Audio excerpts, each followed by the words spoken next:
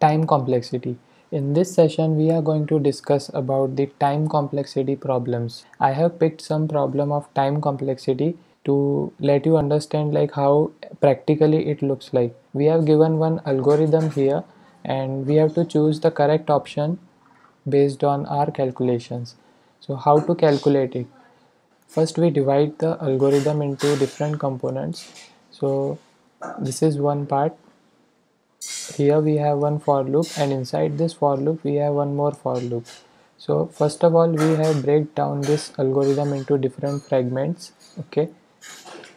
Now we have to calculate the complexity of this algorithm. So how do we do that? As you can see we will we will give it as a constant k1 okay? So this will be ignored as this is a constant here. Some initialization part is happening. That's why we are taking it as a constant k1 now in this loop this loop is going to run for 1 to n times iterate for 1 to n times okay? So when the value of i is 1 here let's take the value of i and m when the value of i is 1 here m's value will become m into 2 okay. What is the value of m here? 1 into 2 so the value of m will become 2 now this second loop will run from 1 to m times. So m's value is 2 here. So this loop will run 2 times. Okay? 2 times. Now when the value of i is 2 here okay? When the value of i is 1 m's value is 2 when the value of i is 2 what will be the value of m here?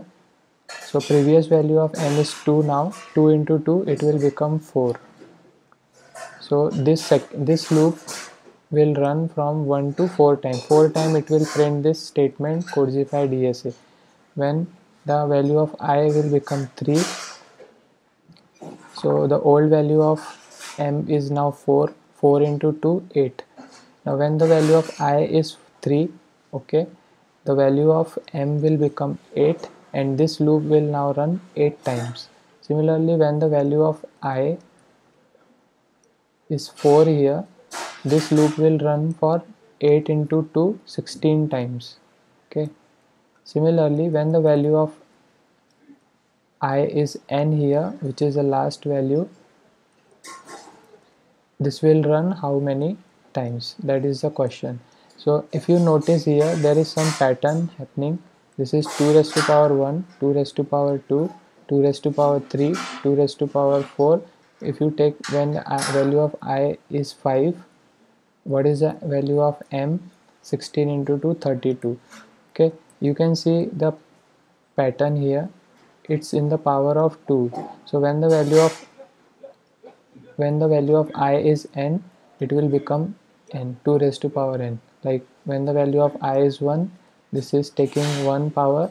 When the value of i is 2 it is taking 2 power 3 3 power 4 4 power 5 5 power n n power. In this way we can say the time complexity of this algorithm is 2 raised to power n. Uh, let's take the second example.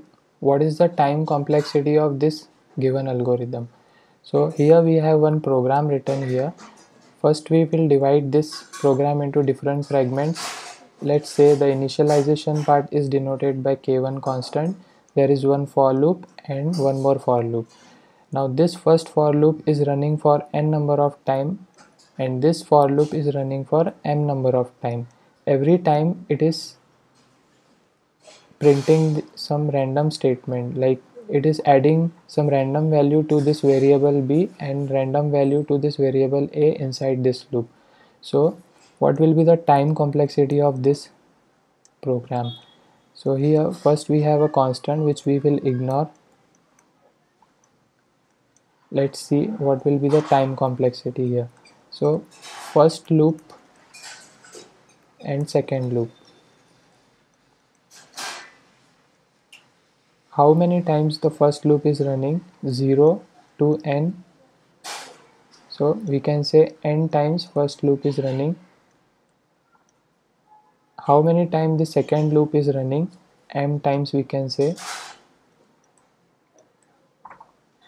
And as any value of i j or m is not dependent on this statement so this when the value of i is 0 it will take let's see it in practical so that you can understand the value of i here. So when the value of i is 0 suppose okay when the value of i is 0 what will be the value of a here? 0 plus some random number say 1 so 0 plus 1 we can say 1 when the value of i is 1 here what will be the value of a here now a's value is 1 here. 1 plus some random number say 2 so it will take as 3 it, it can be any random number 1 2 when the value of i is 2 what will be the value of this? Say a's value is 3 now. 3 plus 1 4 so this will continue till n number of times. Okay? This will continue till n number of times. Similarly when the value of j is 0 what will be the value of b? It can be any random number right? Like this. So for m number of times this loop is getting executed. Okay. So we can say the complexity of this time complexity of this algorithm is n plus m. This loop is running for n number of time and this is running for m number of time. As both these loops are different we can say they are getting added here. If this for loop is inside this for loop then we can say it's a multiplication. But right now both the loops are different and we cannot say that n and m are the same variable. That's why we have taken the n plus m time complexity here. So the complexity here is o of n plus m. Now o of n plus m is present in two options. So we have to decide with on the basis of space also right? So we have to decide it on the basis of space. Now how to calculate the space? Let's say this is memory okay? Now when the value of i is 0 the value of a was 1 okay? Now when the value of i is 1 here the value of a is 3 now now the value here is changing. Inside this variable only no other variable is getting allocated and and the value is getting assigned. It's not like that because we are we are not creating the new variable here every time. It is already initialized and we are just using that variable. Now when the value of i is 2 the value of a will become 4 so we are not creating another variable here. It is getting assigned initialized here only. Okay? Similarly when the value of j is 0 the value of b is 1 so the value of b inside memory will be 1 now when the value of j is 1 the value of b will become 3 so there is no other initialization as this is initialized once here and we are reusing that variable. So that value will change here only. So we can say the space by this variable is constant. Like it is not changing it is initialized once and that's what we are using again and again. That's why we can say the space complexity here is o of 1 so the c option will be correct here. Time complexity is this and o of 1 will be the space complexity. Let's calculate the time complexity of this third algorithm. First of all we will divide this program into different parts k1 and here we have one for loop and inside this for loop we have one more for loop here okay? So what will be the time complexity here? As you can see the first loop i is running for n number of times. And second loop is running for i number of times. So let's see. When the value of i is 0 here 0 less than n. Let's say the value of n is 4 here. Okay. Now 0 less than 4 j is equals to 4 4 greater than 0 yes 4 is greater than 0 for that we need this table here. The value of n here is 4 and the value of i okay? Now when the value of i is 0 0 how many times j loop will run okay? When the value of i is 0 here j is equals to 4 4 greater than 0 yes. 4 is greater than 0 the value of a will become something okay? So 4 greater than 0 then 3 greater than 0 2 greater than 0 1 greater than 0 this many times the inside for loop will run which is 4 times. Okay. Now when the value of i is 1 here okay 1 is less than 4 now the j's value is is 4 here and 4 greater than what is the value of i here is 1 now. Now it will check 4 greater than 1 yes condition is true it will execute this statement. Again the value of j gets decremented it will become 3 it will check 3 greater than 1 yes it will execute this statement again. Again it will decrement the value of j which is 2 2 greater than 1 yes. 1 greater than this condition will become false. The loop will run three times. Now when the value of i was 0 it was running four times. When the value of i is 1 here the value here will become 3 now when the value of i is 2 now 2 less than 4 yes condition is true. J is equals to 4 4 greater than 2 now. Yes condition is true. It will execute this statement decrement the value of j which will become 3 3 greater than 2 yes. Condition is true. Now when the value of i is 2 the j loop will run two times.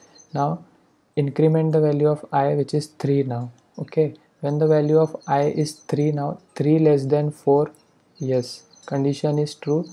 J is equals to n. J is equals to n means j is equals to 4 4 greater than value of i is 3 now. Yes condition is true. So when the value of i is 3 here j loop will run one time. Okay. Now when the value of i is 4 here okay 4 less than 4 this loop will not get executed and it will come to the end of the program.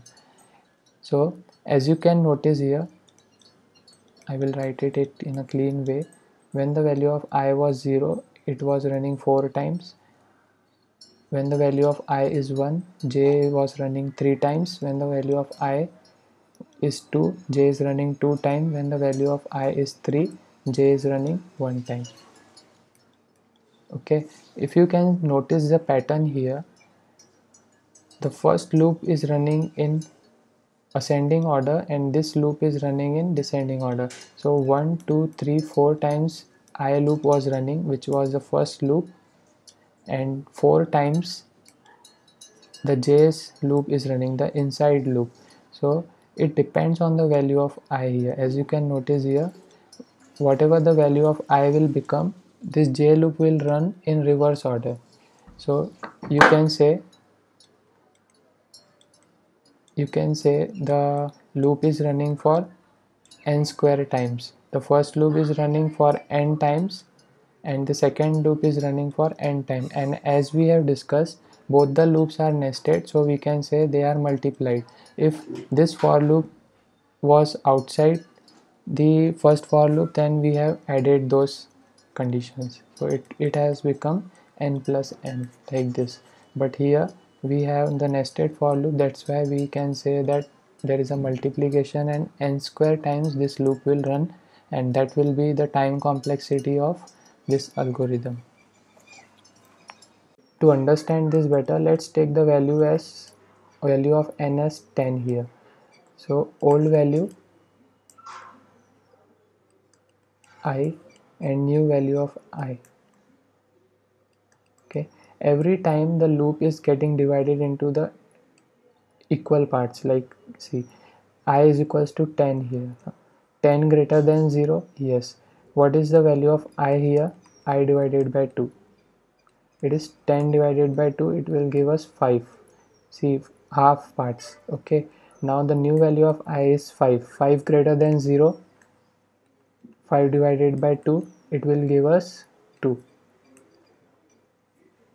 similarly when i is equals to 2 now 2 greater than 0 yes. 2 divided by 2 it will give you 1 again 1 greater than 0 1 divided by 2 it will give us 0 so if you notice it is divided into equal parts. Okay. 10 is 5 5 is 2.5 as that is decimal integer variable we ignore this point value. 2 2 is divided into equal parts which is 1 1 is equal part divided into equal parts which is 0 so this is said to be this is represented using the log n. Okay? As you might have seen this into the sorting algorithm where we point out the middle element and divide the elements into equal parts and then sort them. That is the concept. There also the complexity used to be log n. So here the o of log n will be the time complexity of this specific algorithm. I hope you all got the um, understanding like how to calculate the time complexity of any given problem. So this is the easiest way like first divide the program into the fragments and then see the for loop is nested or not. And if it is nested then multiply. If it is not nested then use the plus symbol. Then identify the patterns inside the for loop like it is a 2 it is in the raised to the power of 2 or it is in the logarithmic format or it is in the n square format you can you have to identify like how what is the pattern of that algorithm and then you can easily choose the correct option. And one more thing we have also launched this interview score skill. All you have to do is select your domain okay whether you are a front-end developer back-end developer. Every test is curated by an expert so that you get the idea like what questions are being asked in the interviews and uh, you can choose your specific date and time slot okay? Based on that you will get one link to join the test. And the test will be mcq based and usually it takes 30 minutes. It will be completely online test. And uh, the benefit of the, taking this interview test is you can see the detail analytics like where exactly your knowledge is lacking. That's what you can test here. And if you haven't subscribed the channel yet do subscribe and share with your friends who are in the cs and it and uh, we will definitely bring some interesting algorithms and coding problems here also. So that's all for today folks. Thank you for watching. Signing off Manish Methani